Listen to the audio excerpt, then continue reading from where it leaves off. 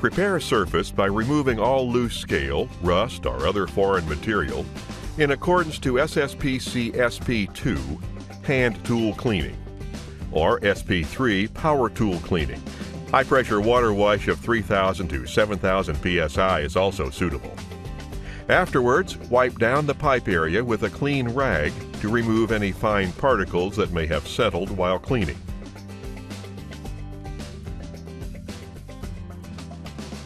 Apply a thin uniform coat of Denso paste to the entire surface with a gloved hand, brush, or rag. This serves as a primer before applying the profiling mastic or any other sealing mastic to the surface area. Make sure that all surface areas are covered to provide maximum corrosion protection and adhesion with the petrolatum tape system. Denso Paste S105 should be used for any surfaces that have excessive moisture or frost to them.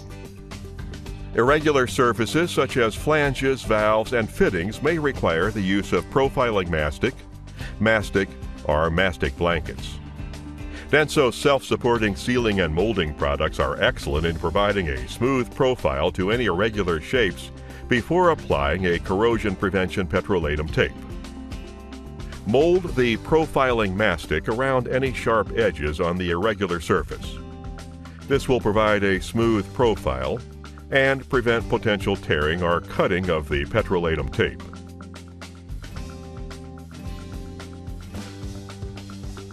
You may apply a small amount of Denso primer to a gloved hand to help in smoothing out the profiling mastic. Denso's petrolatum tape system includes a full line of petrolatum tapes, primers, and sealing mastics, which began over 80 years ago with the development of Denso tape for the long life protection of buried steel pipelines against corrosion. Measure and cut several strips of petrolatum tape lengthwise to cover the area of the flange.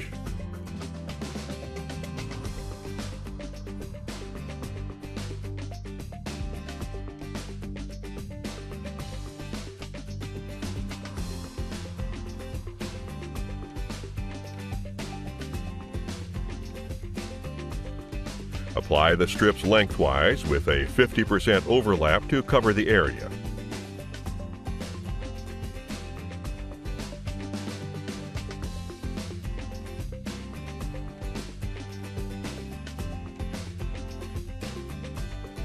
After applying each strip, apply firm pressure to the edge to seal the tape.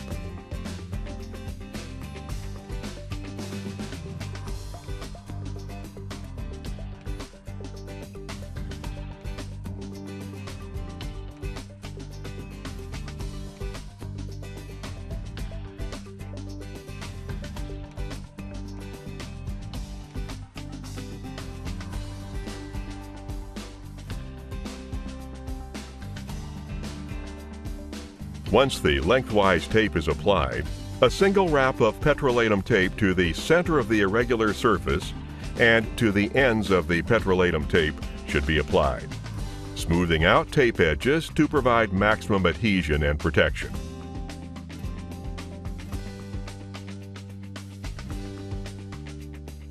You may also spirally wrap the pipe and flange to protect the area. Use a minimum of 1 inch overlap when applying.